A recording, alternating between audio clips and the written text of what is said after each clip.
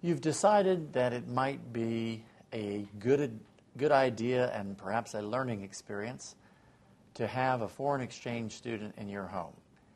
And you've heard that a student visa is required, but you have no idea how to get a student visa. Hello, I'm Robert Todd, and I'm here to answer the question how to get a student visa.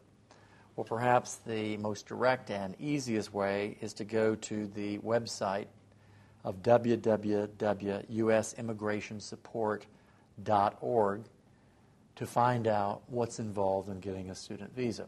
And if you find that after going on that website, the application process is simple enough for you to follow, and you have the answers to the questions that are being asked of you about this foreign exchange student, proceed in that manner. But if you are under a time constraint and or you want to make sure it's done correctly, you might consider hiring the assistance of a lawyer who specializes in immigration services. I'm Robert Todd, and thank you for watching.